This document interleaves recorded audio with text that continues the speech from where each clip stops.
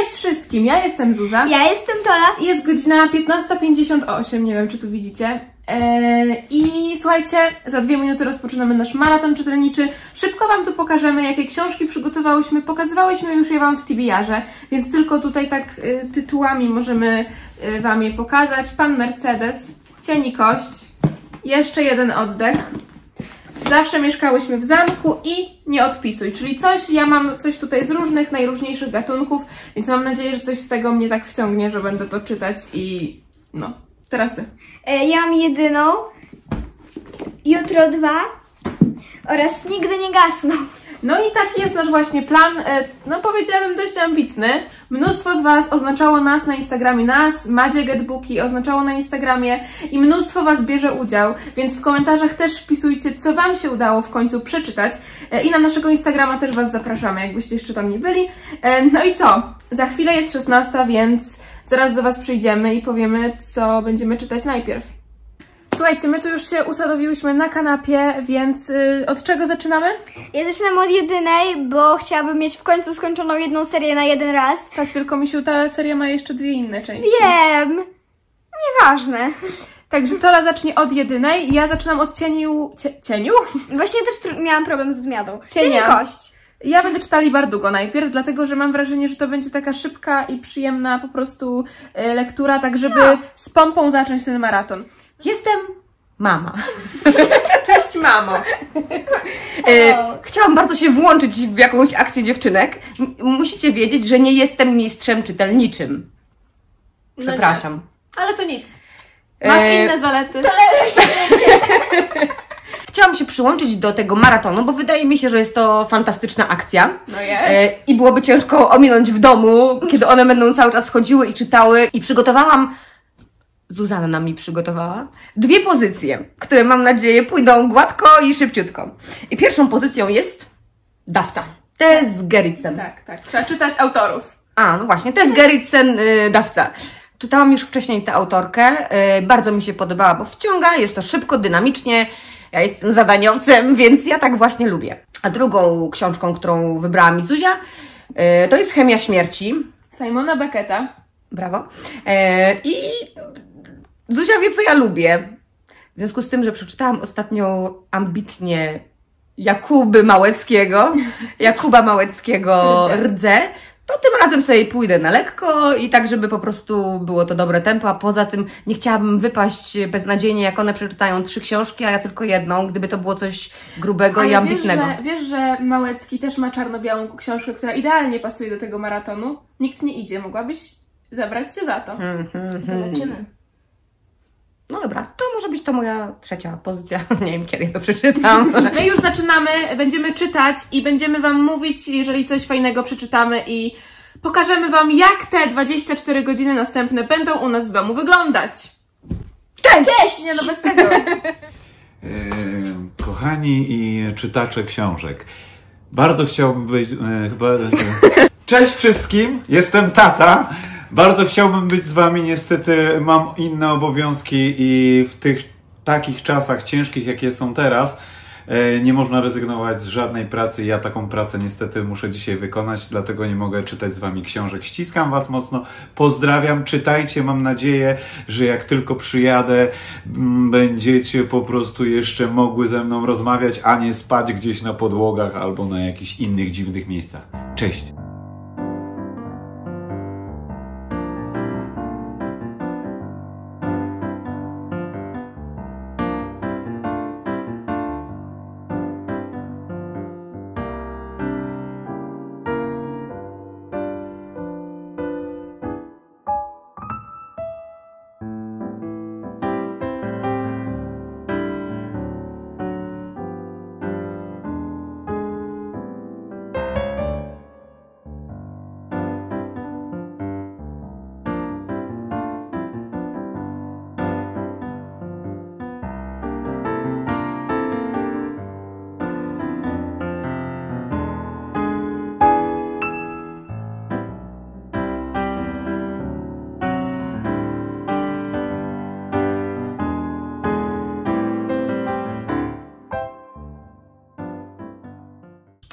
Przychodzę do Was, żeby Wam szybko opowiedzieć o cie- cieniu i kości.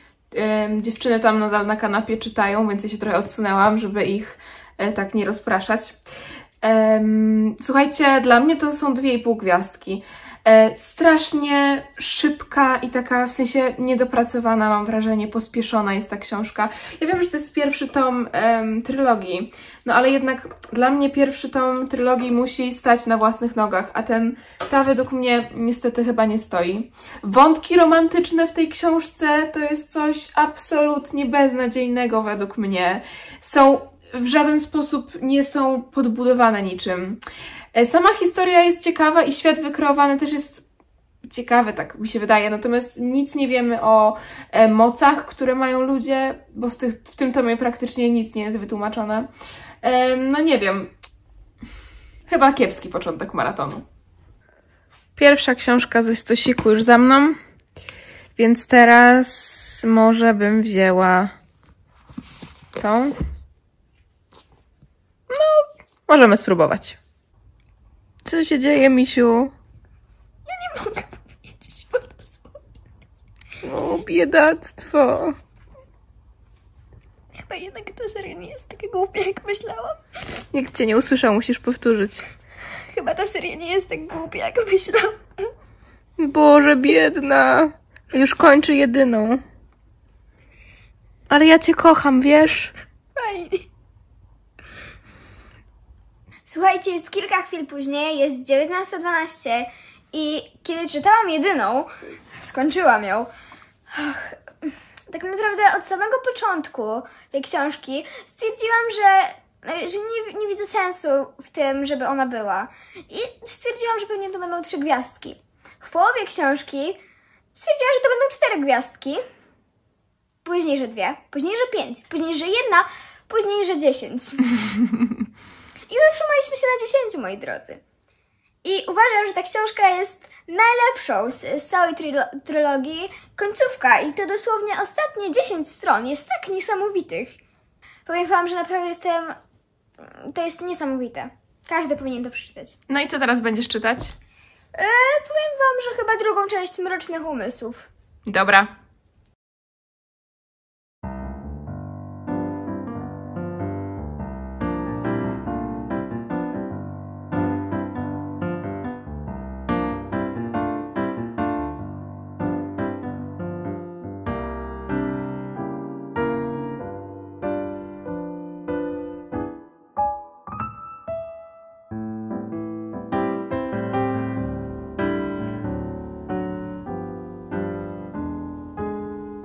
Tobie jak ci się podoba?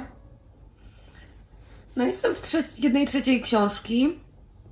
Napisana jest bardzo wciągającym językiem, z taką dbałością o detale. E, No czuję się każdy kawałek rozkładającego się ciała w tym przypadku. A kobiety. pokaż co czytasz, bo nawet nie wiem czy... No. O.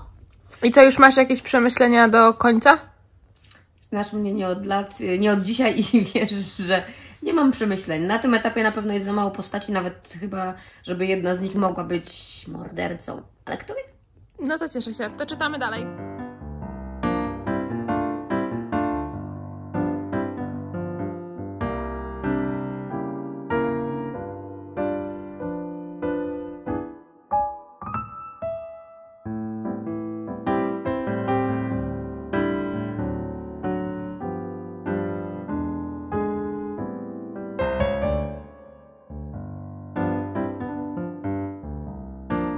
Godzina 20, nawet nie wiem, druga 06. Ja już skończyłam swoją drugą książkę dzisiaj, czyli Zawsze mieszkałyśmy w zamku Shirley Jackson. To jest klasyk z gatunku horror. Początek całego horroru, em, może nie początek, bo ja też się nie znam na tym gatunku, ale wiecie o co chodzi. Taka jedna z, y, książka z tych filarów tego gatunku. E, Jak dla mnie to jest bardzo zmarnowany potencjał, bo sama jakby koncepcja fabuły jest strasznie fascynująca. I te dwie dziewczynki, bo to jest w ogóle historia o tym, że e, jest rodzina w takim dużym domu i cała rodzina oprócz dwóch sióstr i wujka została zamordowana, bo została otruta przy kolacji. No i całe miasto myśli, że to e, zrobiły te dwie siostry, em, no i nikt teraz ich, do nich się nie odzywa, wszyscy się ich boją i tak dalej. No i odkrywamy razem z właśnie narratorem, co tak naprawdę się w tym domu wydarzyło. Generalnie brzmi to świetnie. E, natomiast w tej książce, mm, nie wiem czy pamiętacie, jak Wam mówiłam przed chwilą o cieniu i kości, że jest pospieszna i niedopracowana, no to ta jest z kolei tak rozwlekła, mimo że jest krótka, bo ona ma 300, nawet nie, 200 tam 40 stron, to jest po prostu rozwleczona i bardzo mało mięsista, bardzo mało treści jest w środku. Więc em, dla takich fanów e, tego typu literatury, no to warto się zaznajomić, bo to, to jest gdzieś tam klasyk, nie? Ale no niestety rozczarowanie to dla mnie. E, więc no, idę jeszcze sobie wybrać następną książkę, bo jeszcze nie mam zamiaru iść spać. Jeszcze trochę posiedzimy. E, wszyscy tu jeszcze czytamy. No także zaraz Was zabiorę do swojej biblioteczki i pokażę Wam, co wybieram sobie dalej. Przeczytane. E, myślę sobie, że wzięłabym teraz jakiś kryminał. Słyszałam bardzo dużo różnych opinii na temat tego. Ja to dostałam w prezencie, więc yy, no zobaczymy. Mam nadzieję, że się nie zawiodę i mnie wciągnie. Słuchajcie, jest 22.20. Wszyscy są jeszcze na swoich posterunkach.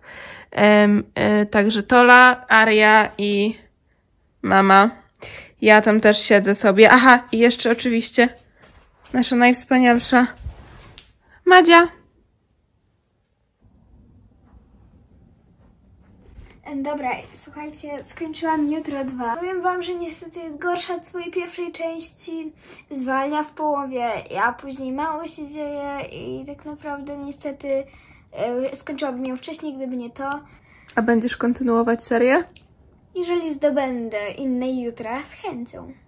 No to ekstra. To teraz chyba już idziesz dzisiaj spać, co? Jeszcze nie wiem. No idziesz spać, już jest północ prawie. No. Także Tola się Ustawię odezwie. sobie budzik i no. Na którą ustawiasz budzik? Mm, drugą. No co ty za głupoty opowiadasz? Piątą. Nie wstanę na drugą. To ja się z tobą żegnam. Dobranoc. Dobranoc. Jest godzina 23.40 i ja mm, trochę już czuję, że mam zmęczone oczy. Nie jestem ja zmęczona, ale po prostu mm, wolałabym już zamknąć oczy, a przynajmniej nie czytać liter. Ale słuchajcie, wyzwanie to wyzwanie, więc pójdę się wykąpać i mam nadzieję, że to mnie troszkę orzeźwi. Zmyję makijaż. E, jeśli chodzi o nieodpisuj, to jestem na 79 stronie, więc no, powoli mi to idzie. Nie jestem przekonana co do tego kryminału. Natomiast nie ma tragedii. Całkiem szybko się to czyta, więc może jeszcze dzisiaj skończę, ale mm, nie spodziewałabym się raczej tego. Jest 12.13, już 24.13. Zdecydowanie nie jest to mój czas. Powinnam od 3 godzin spać. Ale warto było zarwać tę jedną nockę na maraton. E, chemia śmierci. Samo ostatnie 20 czy 30 stron uważam, że było tak rozwlekłe, tak niepotrzebne zupełnie i nie dające niczego, kompletnie niczego do, do całej fabuły, ale było. Dziewczyny zawsze oceniają książki. 4 na 5. Bardzo dobrze, myślałam, że mniej. No nie. Nie, nie, nie. Myślę, że 4 na 5. Dobra, to ty idziesz już spać? Ja idę spać. Zdecydowanie idę spać. Ale jutro jeszcze kontynuujesz maraton.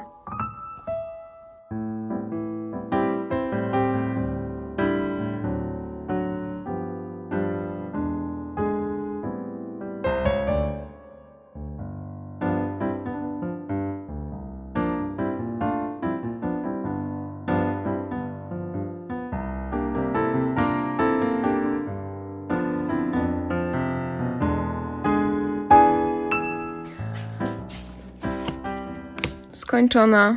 Nie polecam. Była tak absurdalna i strasznie była. O Boże. Kiepska. Em, zostały mi tutaj te dwie, a jest godzina, nie wiem, 8.30. Natomiast nie mam ochoty na żadną z nich. Więc pomyślałam, że może poszukam sobie czegoś innego tu na półkach, bo mm, no ani ta, ani ta mnie jakoś nie inspiruje, więc czegoś poszukam i zaraz się odezwę.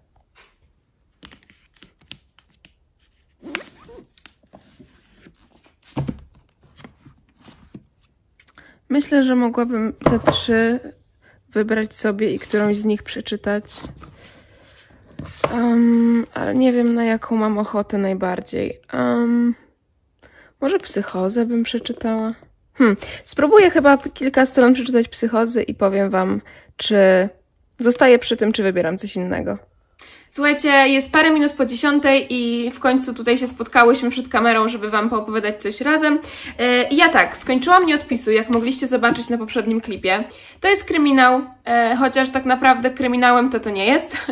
To jest raczej obyczajówka z elementami jakimiś takimi psychologicznymi. Nie jest to dobre niestety, moim zdaniem. E, ja nie, nie polecam Wam tego, oceniłam to na dwie gwiazdki, bo jest tu kilka ciekawych wątków poruszonych i ciekawych pomysłów, e, ale są bardzo niedobrze moim zdaniem wyegzekwowane. E, no nie wiem, no jeżeli jesteście jakoś bardzo... Aha, nie sugerujcie się absolutnie tyłem, bo tył tak myli. W ogóle, co jest tu w opisie z tyłu, nic z tego się... To, to w ogóle, nie kierujcie się tym. No i czytam psychozę, jestem już w połowie. I jest na razie całkiem spoko. Wydaje się na razie, że to jest najlepsza książka e, z całego tego maratonu. Ale zobaczymy, jak skończę. Ja skończyłam moją trzecią książkę Oddam Ci Słońce i powiem Wam, że moje uczucia do tej książki są bardzo mieszane. Bo tak naprawdę przez większą część e, książki niestety mało się działo. To jest historia o bliźniętach, które w pewnym momencie się rozdzielają przez różne przeciwności losu i ze sobą nie rozmawiają i my dążymy do tego, żeby oni znowu byli ze sobą i żeby, żeby wszystko było dalej super. I to jest też taka na zasadzie tajemnicy, że nie wiemy, co się tak. stało i odkrywamy? My, tak, odkrywamy to razem, pra, prawie razem z nimi. Aha, i co? I to, to odkrycie było ciekawe? Bardzo. Tak naprawdę ostatnie 50 te książki e, zawyrokowało nad gwiazdkami. Cztery. Więc... To ja potwierdzam, Tola siedziała koło mnie na kanapie i co trzy strony nie. Tak, tak, tak to wyglądało. No i tak, i polecam Wam tą książkę, szczególnie jeżeli jesteście w moim wieku albo trochę starsi ode mnie. Jestem bardzo ciekawa, jak Wy ją ocenicie, bo opinie mogą być bardzo, bardzo różne. Ale nie odradzasz tej książki. Nie. No to ekstra. No dobra, to słuchajcie, macie nasz małą, naszą małą aktualizację, żeby nie używać słowa update, bo nie lubicie podobno. Eee, my idziemy czytać, bo jeszcze do 16 jest parę godzin, więc jeszcze kilka książek uda nam się, znaczy kilka to dużo powiedziane. Po jednej myślę, że jeszcze skończymy. Także odezwiemy się do Was później. Jako, że skończyłam Oddam Ci Słońce, e, chcę przeczytać coś jeszcze, bo do 16 jeszcze trochę zostało, więc chodźcie, wybierzecie ze mną. Dobra, tu chyba nie ma nic, co obecnie chciałabym przeczytać, więc chodźmy dalej. Może tuż. A mogłabym? Nie wiem, chyba tak. To może tuż. No, możesz spróbować. Nie wiem, ja tego też jeszcze nie czytałam. Dobra, no to spróbujmy. Mam książkę. Co się stało? Cola, co się stało? Umarli Misiu, będzie dobrze. Misiu. jesteś na trzynastej stronie.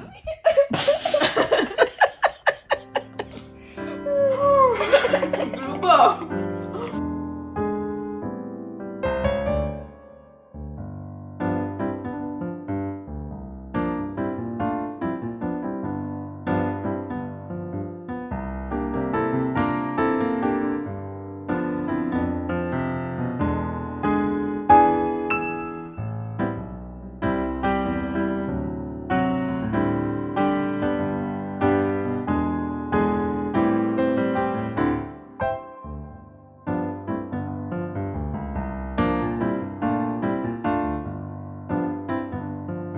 Słuchajcie, jest 13.29, przychodzę, bo skończyłam w międzyczasie dwie książki i pierwszą z nich to jest oczywiście Psychoza, o której Wam mówiłam przed chwilą. To jest bardzo dobra um, książka, biorąc pod uwagę koncepcję fabularną. To jest naprawdę e, coś, co wciąga od pierwszej strony i pomysł jest po prostu wspaniały. I jedyne, do czego ja się przyczepiam, to wykonanie, bo uważam, że jest bardzo zmarnowany potencjał W sensie takim, że można to było pogłębić, poszerzyć. Ta książka jest za krótka, zdecydowanie. I tak naprawdę wszystko, co jest to najbardziej ciekawe, mięsiste, jest y, skrócone do 20 stron na samym końcu. I to mi się bardzo nie podobało. Natomiast sama rzecz jest no, warta przeczytania na pewno. Dla fanów klasyki horroru, dla fanów takiej tajemnicy, no to ja bardzo polecam. Też będę na pewno niedługo oglądała film Hitchcocka, bo mam ochotę po tej książce, więc na pewno zostawia po sobie dobre wrażenie, natomiast no, niedosyt też. I drugą książką, którą zaczęłam i skończyłam podczas tego maratonu jest jeszcze jeden oddech Paula Kalantiego. Mamo! Proszę, to ja chcę tylko tu nagrać minutę, wytrzymaj bez śmiechu. Ale ja się nie śmieję, to ty zaczynasz! Ale potem ty się też śmiejesz.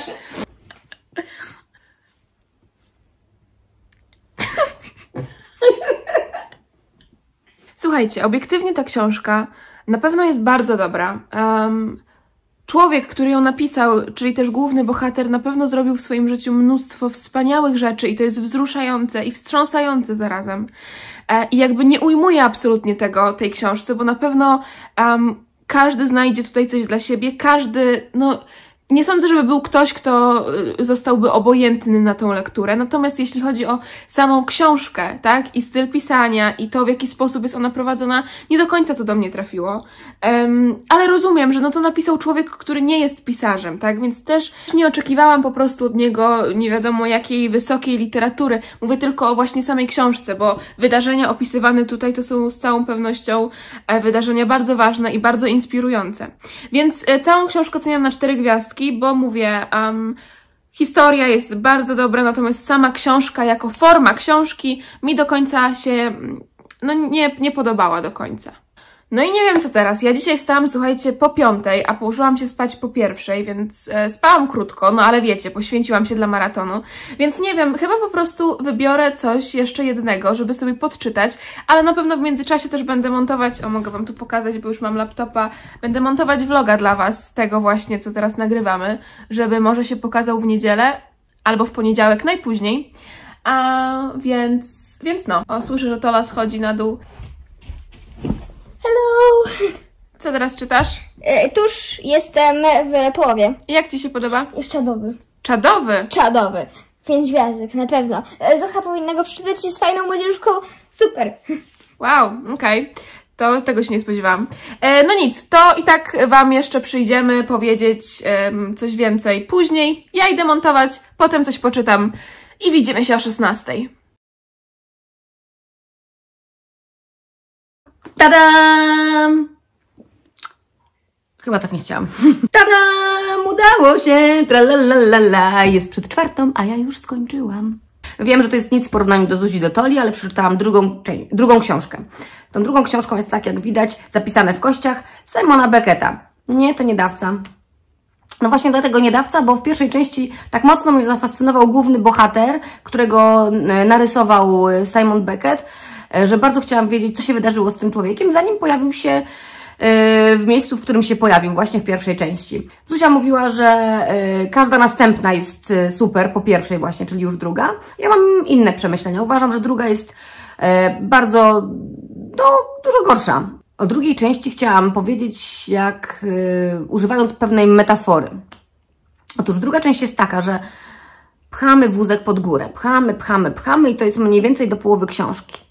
Jak już go dopchaliśmy na górę, wsiadamy do tego wózka, ja się tak właśnie czułam, wsiadam sobie do tego wózka i nagle ten wózek się rozpędza, no wiadomo, jak jedzie z górki. Jedzie, jedzie, jedzie, jedzie i zakończenie jest takie, że jest hamulec ręczny, bo jest kamień z przodu, czyli ten kamień to jest taki właśnie hamulec i nagle wypadam z tego wózka, uderzam mu łbem o ten kamień i takie jest właśnie zakończenie, no. Dramat, beznadzieja z wielkim guzem na głowie. No niestety trzy gwiazdki na pięć, właśnie ze względu na to zakończenie. Abstrakcja.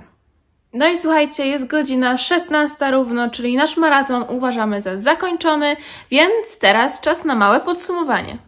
To ja zacznę. Jak na pewno widzieliście, mi się udało przeczytać przez te ostatnie 24 godziny 5 książek. Razem dają one wynik 1350 stron. Jest to dość sporo, patrząc na to, że to tylko 24 godziny. Wiem, że mogłam zrobić więcej, natomiast mówiąc szczerze, po tych pięciu książkach już e, miałam ochotę po prostu na przerwę i Em, zaczęłam sobie Jima Butchera i Front Burzowy. Bardzo fajne, jestem na początku, ale bardzo mi się podoba.